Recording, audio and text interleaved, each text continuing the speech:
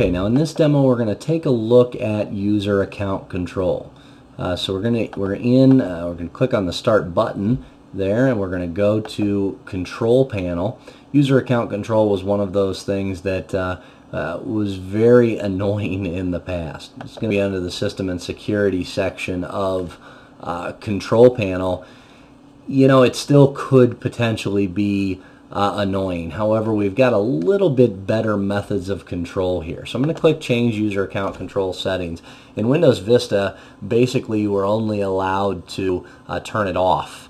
You know, you could go in to the local policy and make some changes, but those are a little bit more complex, uh, and your standard everyday users uh, may not have been able to get in there and make those those happen uh, and still it was going to it, those settings were essentially whether or not it notified you. So the point of user account control is so that code doesn't execute in the background without you knowing about it. Files aren't downloaded, uh, viruses aren't running, Trojan horses aren't collecting information or at least installing themselves. So Windows said, hey, I'm going to notify you every time something tries to make a change to your computer. And I'm even going to notify you, and here's the fault, when you try to make a change to the computer, just because I want to make sure that it's actually you trying to make the change to the computer. Okay, so here we see the new user account control settings.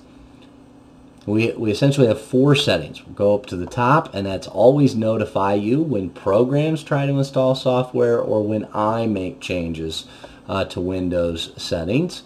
Okay, then we have notify me only when programs try to make changes. Don't notify me when I make changes to Windows settings. That's the default. That's the best, really, uh, in most situations. It is going to pop up every time a, a program installation happens. But if you go into Control Panel and you click around, for instance, like I just clicked, anywhere with the shield, it's not going to prompt me uh, to continue.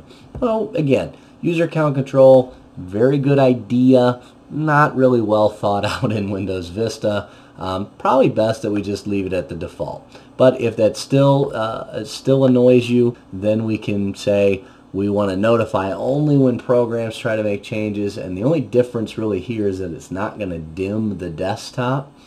Dimming the desktop was a security method to make it so you couldn't select anything else uh, other than, uh, excuse me, other than to proceed with the installation. Okay, so that, those two are very similar. And then down here to completely turn it off, which of course is not uh, not recommended by Microsoft. All right, so I'm going to leave it at the default setting, but just the ability to segregate me making changes versus programs making changes is a big deal, and that should make user account control uh, usable, uh, I think, in most situations. Now I want to take a look, and we could spend all day in Control Panel. Uh, not a, you know, not a ton of differences uh, in here. Uh, do want to mention a couple of things. BitLocker drive encryption in the business and ultimate versions. Business, enterprise, and ultimate versions now supports flash drives. That's really a great uh, new enhancement. Uh, there's the AppLocker, which can allow you to control which programs can be run uh, on the local system. Going to take a look at my power options being that I'm on a, a mobile computer and go into uh, the plan settings.